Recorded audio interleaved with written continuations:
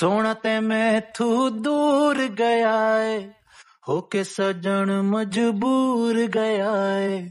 ਅੱਖੀਆਂ ਦੇ ਵਾਸਤੇ ਖੁਸ਼ੀਆਂ ਹੋਵਣ, ਹੋ ਕੇ ਹਿਜਰ ਵਿੱਚ ਚੂਰ ਗਿਆ ਏ। ਸੋਹਣਾ ਪਿਆ ਪਰਦੇਸ ਕੱਟੇਂਦਾ ਸਜਣਾ ਨੂੰ ਦੂਰੋਂ ਦੂਰੋਂ ਵੇਂਦਾ। ਸਾਡੀ ਤੇ ਸਾਰੀ ਸੁਣਦਾ ਏ ਪਰ अपनी पीड़ नहीं वेंदा।